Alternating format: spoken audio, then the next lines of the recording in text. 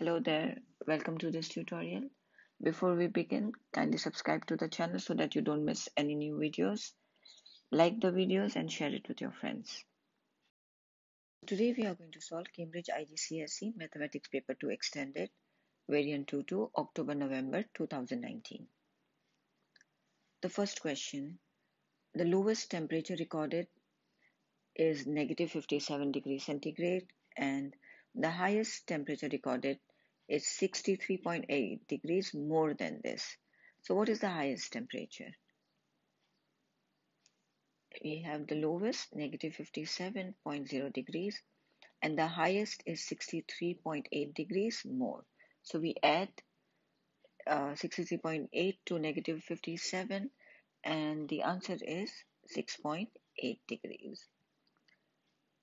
Question number two, we have been given numbers and we have to calculate put this in the calculator correctly and you will get the answer 7.6045 you can round it to one decimal 7.60 or uh, two decimals 7.60 next expand. When we are expanding variables so you have a bracket a to the power of 3 we add the powers. If you cannot see any power, it means there is a 1. So when you are multiplying a with a to the power of 3, the answer you will get is a to the power of 4 because we add the powers. And then a times plus 3 is plus 3a. Question number 4, we have been given a Venn diagram and we have to shade the region A intersection B complement learn to understand that complement means not. So A intersection B is this inside part which is overlapping. It is a part of A and part of B. So A intersection B complement or A intersection B not is everything except that part. So it is this part. Question number 5. The mass correct to the nearest kilogram of each of 11 parcels is shown below.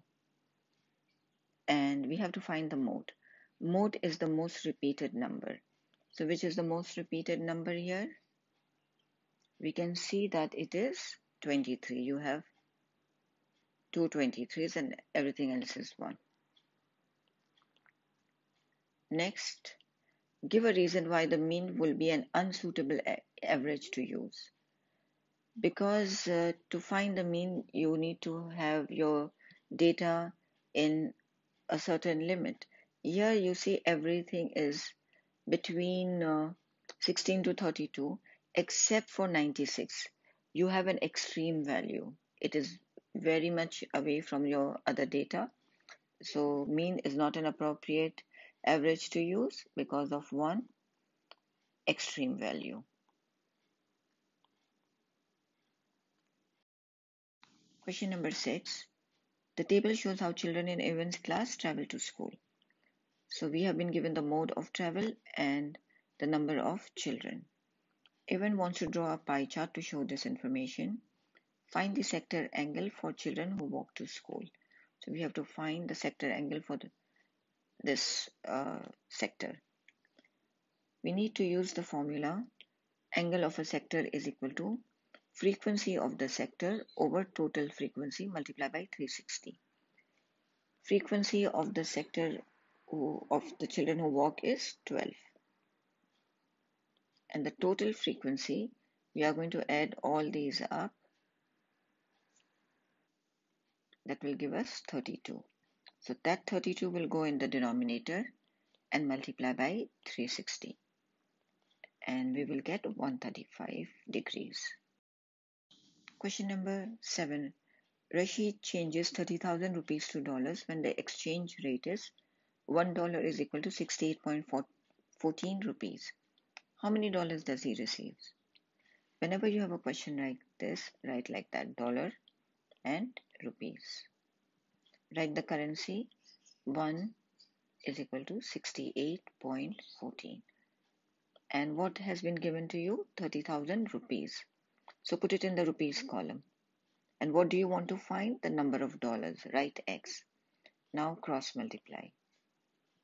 So 1 multiplied by 30,000 is equal to 68.14 multiplied by x. As this is a multiply, when we move to the other side, it will be a divide. 68.14 so 30,000 divided by 68.14 we will get $440.27 question number 8 is a bearing question. We have been given the bearing of P from B is 102 so this is 102 find the bearing of B from P if the acute or obtuse angle is given to us and we want to find the other bearing. That means that's the outside part. Please remember that you just have to add 180 and you will get the answer. So the answer is 282. Question number 9. Solve the inequality. You have a number in the denominator. If you have a number in the denominator, to cancel that number, multiply the full equation by 2. So x over 2 multiplied by 2, the 2 will get cancelled, you will get x. Negative 13 multiplied by 2 will give you negative 26. 12 multiplied by 2, 24. And 3x multiplied by 2 is 6x. Bring all the x on one side and the number on one side. This is a positive 6x. When I bring here, it will be a negative 6x. And the negative 6x, uh, 26, when we move to the other side, will be positive 26. Negative 5x is more than 50. Whenever you have a negative uh, number before x, so when you are solving for inequality, this is a multiply. So when you bring that to the other side, it will be a divide your inequality sign will change. The more than will become less than. So 50 divided by negative 5, x is less than negative 10. Question number 10. Write the recurring decimal 0.67 as a fraction. So 7 is recurring. Show all your working and give your answers in its simplest form. How do we write this? What does it mean? It means 0.6777 continuous without stopping. For a question like this, first write let x equal 0.67. Then multiply by 10. Both the sides by 10. So you will have 10x is equal to 6.7 and the numbers will go on. The number after the decimal must be same. You have in the first place 6 and in the second 7 it means that we have to multiply once more.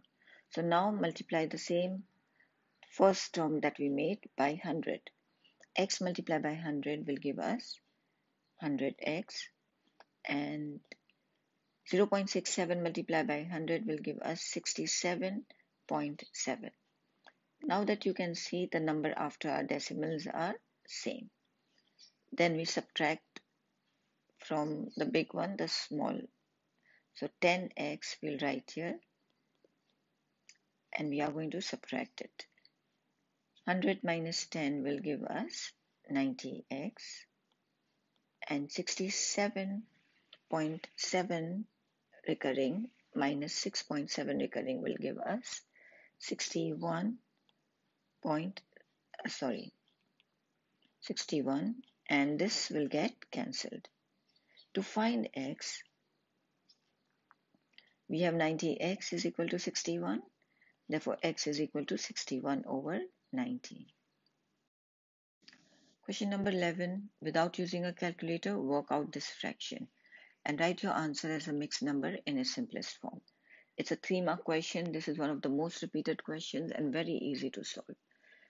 So the first thing is we'll convert this mixed fraction into uh, improper fraction. For doing that, we have to multiply the divisor by the quotient. So 8 multiplied by 3 plus 5. That will give us 29 over 8. The same you are going to do for the other fraction. 1 multiplied by 3 plus 2 and you will get negative 5 over 3. After this step, you need to have a common denominator. So multiply the first term by 3 and the second term by 8. So you have a common denominator now. 8 multiplied by 3, 24. And in the numerator, multiply 29 by 3. You will get 87. And 5 multiplied by 8 is 40. 87 minus 40 is 47 over 24. You can use the calculator put this in the calculator and press the shift SD button. I'll show you which one and you will get the answer as 1 over 23 over 24. In the calculator, write 47 over 24 and after doing so, press the shift button, this button, and then press this SD and this is the answer you will get.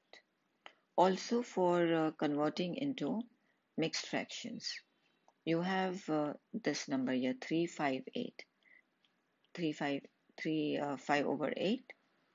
You can use this button, press shift, this button, okay, and put in in the calculator 358 and this is the answer you will get 29 over 8. You can use the calculator, you just have to show that you are doing it manually. Question number 12. A regular polygon has an interior angle of 176 degrees. Find the number of sides of this polygon. For this, we need to know two rules. These are the two rules.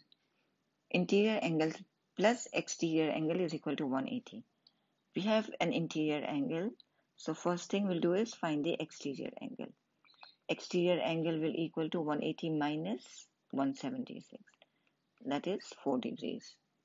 Then we'll use the other part of the rule. Number of sides equals 360 degrees divided by the exterior angle. So to find the number of sides, we are going to divide it by 4 because that's our interior angles and you will get 90. So the total number of sides are 90. Question number 13. Two mathematically similar containers have heights of 30 centimeter and 75 centimeter. The larger container has a capacity of 5.5 liters. Calculate the capacity of the smaller container. So this is the larger container and this is the smaller container 75 centimeter and 30 centimeter they have heights so the first thing we need to know that how did we get 35? We need to 75 multiply by a scale factor, we'll name it as k, gives us 30. Therefore, k is equal to 30 divided by 75. This is for height. Capacity means volume. Therefore, the larger and the small, the larger capacity is 5.5 multiplied by our scale factor which is k 30 over 75 will give us the capacity of the small container the only thing you need to remember capacity like I said is volume so the power will be cubic put this in the calculator and you will get the answer if it was an area we will square it okay and the answer is 0.352 liters. But we want the answer in milliliters. 1 liter is equal to 1000 milliliters. So therefore to change the liter into milliliter, we will times it by 1000 and you will get 352 milliliters. Question number 14. Show that the line 4y is equal to 5x minus 10 is perpendicular to the line 5y plus 4x is equal to 3, 35. The first thing we will do is write both the lines in the format y is equal to mx plus c. We'll find the gradient of each line. m is the gradient. So 4y is equal to 5x minus 10. y is equal to 5 over 4 x minus 10 over 4. The next line is 5y plus 4x is equal to 35. So 5y is equal to negative 4x plus 35. Divide both the sides by 5.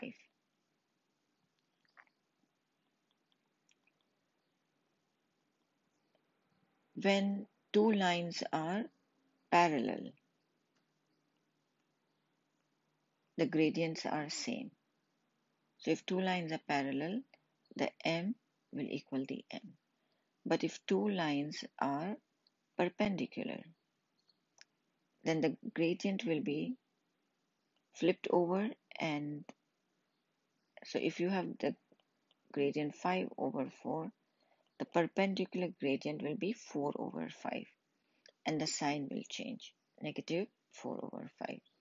So that is the case here. This is 5 over 4 and this is negative 4 over 5. Therefore, the two lines are perpendicular. Or there's another rule that we use. m multiplied by the perpendicular gradient is equal to negative 1. Our gradient for the first line is 5 over 4. Multiplied by negative 4 over 5 should give us negative 1. If it gives us negative 1, it means it is perpendicular and it gives us negative 1, therefore it is perpendicular. 15. Esme buys X magazines at $2.45 each and Y cards at $3.15 each. Write down an expression in terms of X and Y for the total cost in dollars of the magazines and the cards. So 2.45 times X is magazines and cards are 3.15 times Y. So this is an expression we have.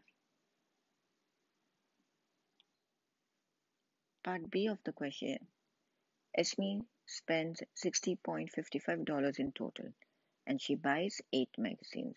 X is our 8 magazines. How many cards does she buy? So let's just write the equation. 2.45 times 8 plus 3.15y is equal to 60.55.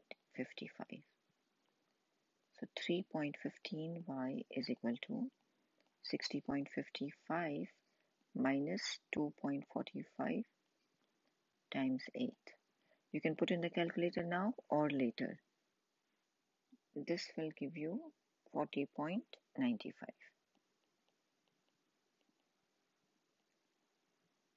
we have 3.15y. So 3.15 when we bring it to the other side it will be a divide. 40.95 divided by 3.15 will give you 13. So the total number of cars she buys is 13. And this brings us to the end of this tutorial. Kindly watch part 2 for question number 16 onwards.